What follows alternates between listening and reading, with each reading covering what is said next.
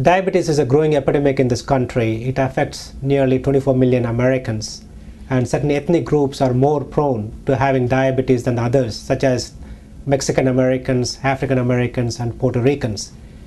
65% of the people with the diabetes die as a result of cardiovascular disease, such as stroke, heart attack, and heart failure.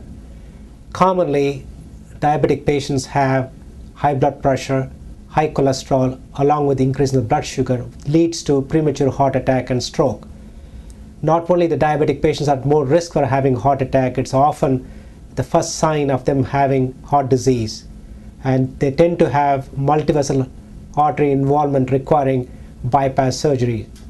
These patients do not do well with angioplasty stent. They do better with the surgery.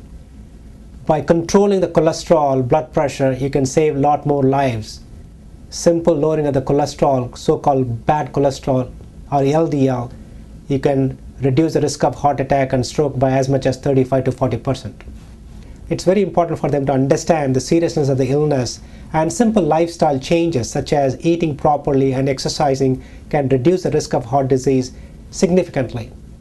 In anybody over the age 35 years of age who has never exercised, who's a diabetic, should be screened for underlying heart disease with a stress test before they engage in any kind of exercise program. Nearly one fourth of the patients with diabetes with the vascular disease may not have any symptoms like a chest pain.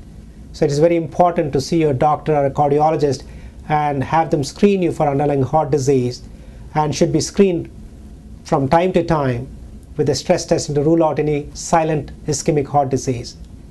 I have a special interest in diabetes and heart disease, and uh, as a result, I also serve as the president of American Diabetes Association for the Broward County.